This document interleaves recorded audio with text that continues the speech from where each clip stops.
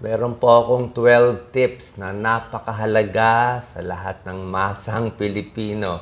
Pag sundin nyo itong 12 tips, naniniwala ako makakaipon kayo ng pera, hindi kayo maloloko, sa ibang araw yayaman kayo. Hindi ko mapapromise gaano kayaman, pero siguradong may pera kayo with these 12 tips. Okay, pakinggan maigi. Number one, huwag magyayabang sa social media. Okay, kung meron kayong gamit, meron kayong binili, alam ko gustong gusto mo i-post, gustong gusto mo i-like na ibang tao, baka pwede wag. Kasi pag pinapakita mo yan, unang-una, mauutangan ka. Pangalawa, hindi, matat hindi matutuwa yung mga tao sa iyo. Maaasar lang sila, kung meron silang magandang project, hindi ka na nila sasali. Number two, iwas sa emotional buying. Anong emotional buying? May nakita kang gamit, gadget, baro sa mall. Hintay ka muna two weeks. Ay mo, anong klaseng payo yan, Dok? Ba't ako maghintay to? Hindi nga po pwede biglaan. Unang-una, hindi ka naman mayaman. Tsaka mga tao, pagpunta doon, syempre, emotional ka, malungkot ka, masama loob mo, nasa mall ka, may pera ka, dala-dala mo, gusto mo gastusin. Kasi pag ginastos mo, sumasaya ka. So yung lungkot mo, ginag- binabawi mo ng gadget, eh, in the end, nga nga, wala kang pera. Baka manik ka, manik sa pagbili, di ba? Bago mag-shopping, kumain muna. Kalmado dapat ang utak mo bago pumunta sa mall. Number three, iwas sa emotional giving. Anong emotional giving? May lalapit sa'yo, tunay, may sakit, ICU, kapatid, kamag-anak, nagmamakaawa, kailangan mamatay na, kailangan bigay mo na yung 20,000 mo, kundi wala na, wala na pag-asa. Ah, kahit anong mangyari, okay ah, hindi ko kayo tinuturuan masama. Kung gusto mo magbigay, magbigay kay 500 o 1,000. Pero the point is, yung ipon mong pera, para sa'yo yon pag nagkasakit ka, para sa anak mo, para sa magulang mo, para sa asawa mo. Okay? Hindi mo pwede ibigay sa ibang tao. Una-una, hindi ka mayaman, wala kang pera, hindi mo responsibilidad. So, magbigay ka ng 500. Pag binigay mo yung pera mong 20,000 na last money mo, nagkasakit yung anak mo, yung anak mo pa pwede mamatay.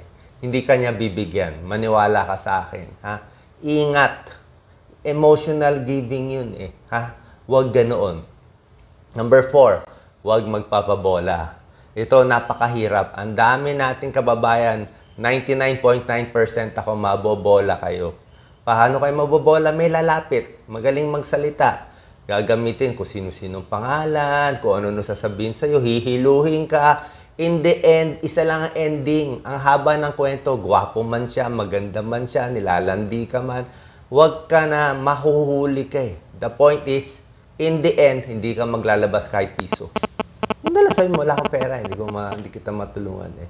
Pag sinabi mo wala kang pera, aalis na siya. Iba na i-scam niya, hindi na ikaw. Okay? Number five, mag-enjoy sa murang paraan. Kung meron kayong magandang paraan naman na mag-enjoy, di ba? Kasi kung gusto mo lagi travel abroad, sa probinsya, travel, isang travel, 50,000, 100,000, ang hirap na kitain nun. 'Di ba? Mag-enjoy ka na lang sa bahay mo, staycation ka na lang, lumabas ka na lang sa isang lugar, 'di ba? Sa isang bundok na lang, 'di ba? Doon ka na lang mag-enjoy, tingin na lang tayo sa scenery o maglakad na lang, mga hiking, mga mura, murang paraan. Number six, pilitin huwag umutang. Oras na umutang ka, hindi ka na gumagamit ng utak. 'Di ba? May problema, may kulang, utang dito, utang doon. Forever ka may utang. Forever ka na walang pera. Paano forever ka may utang eh? Mababayaran ko next next month, eh, hindi mo na mababayaran. Maniwala ka sa akin. Pag inutang mo, hindi mo na mababayaran 99%. Kasi mawawalan ng trabaho, magkakasakit yung anak, mag-iiba yung sitwasyon, may bagong utang, may bagong humingi. Kasi nga na-practice ka ng utang eh. Di ba? Kahit gaano kagipid, gaano katipid, kahit kanin na lang, tsaka toyo na lang, tiisin mo talaga So, umpisa lang yun eh. Pag nasanay ka na sa mindset na hindi umuutang, mas kakayanin mo na yun. Piliin yung taong makatutulong sa'yo. Number 70, bihirang-bihira to. Less than 1% ng tao ang mabait sa'yo, talaga mapagbigay, natutulong sa'yo. 99%, nako, gagamitin ka lang. Wag, wag mong isipin, gwapo ka, magaling ka, nilalapitan ka nila. Wag yun, uh, ego natin yon. Pag may lumapit sa'yo, may kailangan sa'yo. Ang ending, pera. 'Diba? Pera, laging may pera. Merong gagamitin ka. Ha? Kaya ingat. Pero may a few tao na makakatulong sa iyo, doon ka lang didikit. Number eight, alisin ang big amounts ng gastos. Ano ba yung big amounts?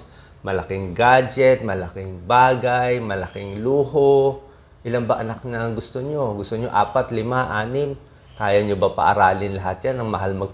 Paano? Magkasakit yung bata. Paano kung magkaroon ng uh, congenital defect habang buhay nyo na yun? Kaya nga kami, dalawa lang anak ko.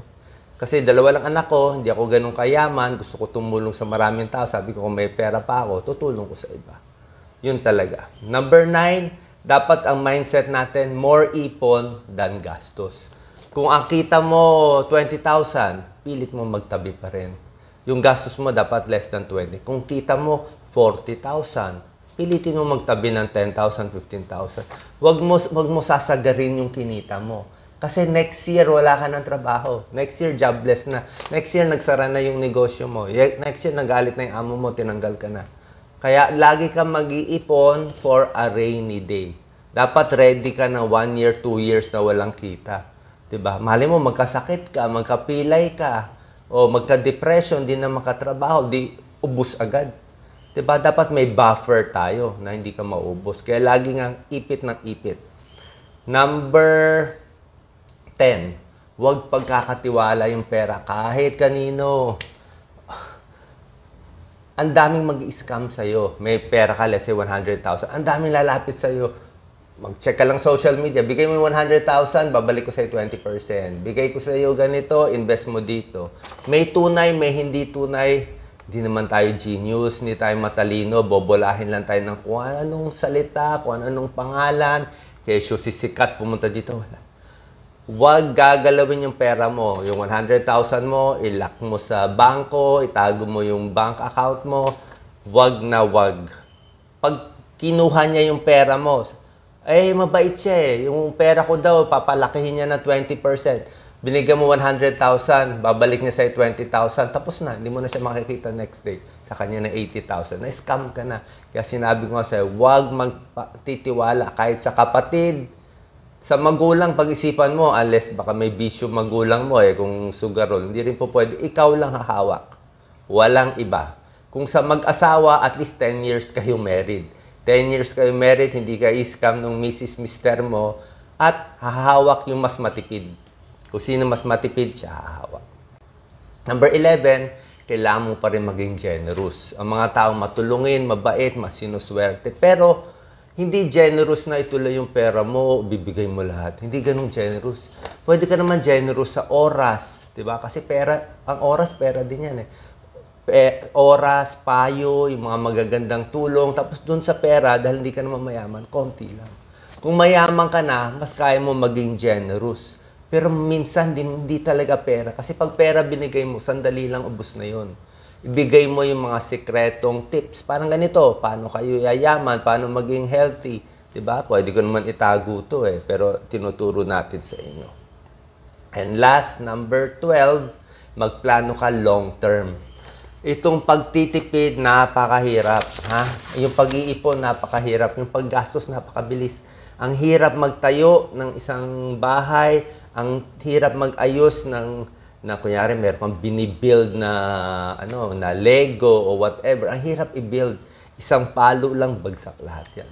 Ang hirap mag-ipon ng 100,000, baka 5 years mo ipunin.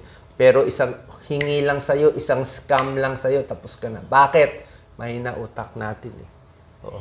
Kulang ka sa control eh. Isip mo hindi ka lolokohin. Lalo na ngayon, sanay na ako sa politika. Grabe talaga. Oo. 99.9% ng tao, nako, may scam ka lang. Kaya talaga, pagdating sa pera, no, wala, sorry, X. O, pag sinabi mo gano'n, aalis na siya agad eh. Hindi ka na niya ma-scam eh. Mas maghahanap na siya ng ibang may scam niya eh.